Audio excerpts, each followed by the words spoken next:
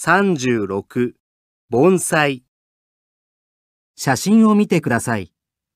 これは約70年前に植えられた松ですが、高さは58センチしかありません。まるで大自然の中に立つ大きな松のように見えませんか？これは盆栽というものです。盆栽の盆というのは植物が植えられている入れ物のことです。盆栽の栽という漢字は植物を育てるということを表します。このように美しい盆栽を作るには毎日の手入れがとても大切です。植物の性質を考えながら枝を切ったり針金を使って曲げたりして長い年月をかけて大切に育てます。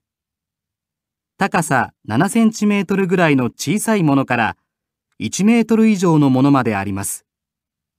小さな鉢の中に大自然の風景を表す。これが盆栽の特徴です。最近、自分の部屋や事務所に小さな盆栽を飾る人たちが増えてきています。心を込めて盆栽の世話をするのが、疲れた心を癒してくれるのだそうです。問題1-1次の質問の答えとして正しいものを A、B、C から一つ選んでください。1、盆栽の盆というのは何ですか？A、お皿を乗せる台です。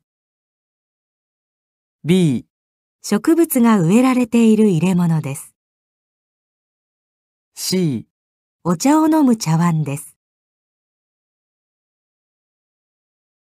2、どうして盆栽は人気があるのですか？A、心を込めて世話をすることで心が癒されるからです。B、大自然の中にいることで心が癒されるからです。C、昔の写真を見ることで心が癒されるからです。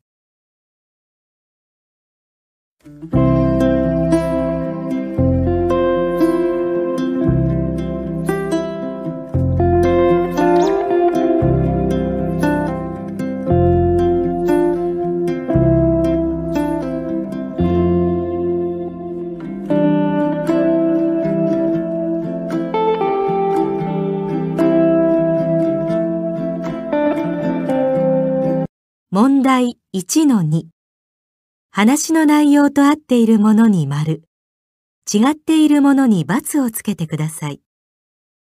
A、盆栽はできるだけ自然に大きく植物が育つようにします。B、盆栽は木を切ったり曲げたりして形を作ります。C、盆栽は小さな鉢の中に大自然の風景を表します。D、盆栽は手間がかかるのであまり人気がありません。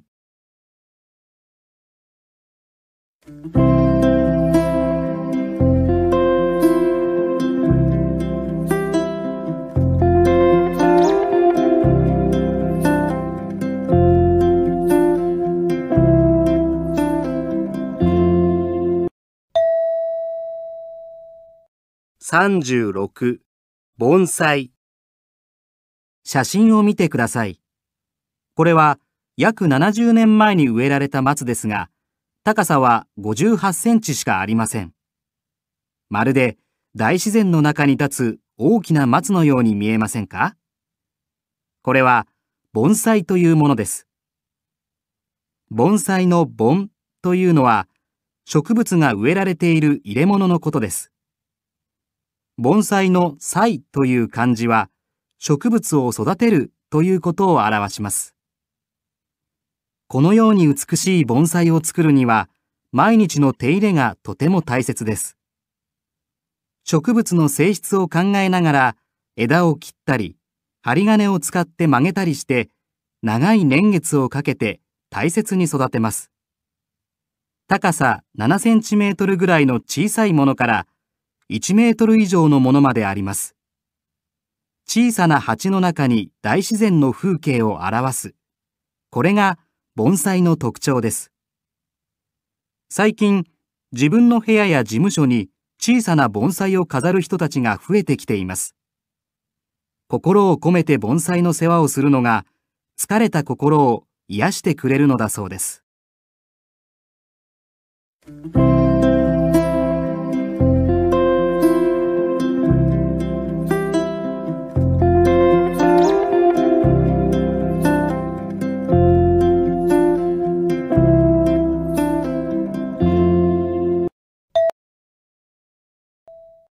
36盆栽写真を見てください。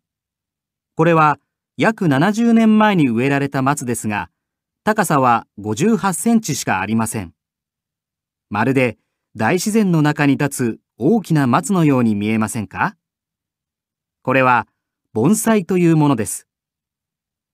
盆栽の盆というのは植物が植えられている入れ物のことです。盆栽の栽という漢字は植物を育てるということを表します。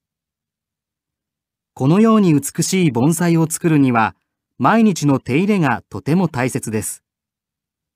植物の性質を考えながら枝を切ったり針金を使って曲げたりして長い年月をかけて大切に育てます。高さ7センチメートルぐらいの小さいものから1メートル以上のものまであります。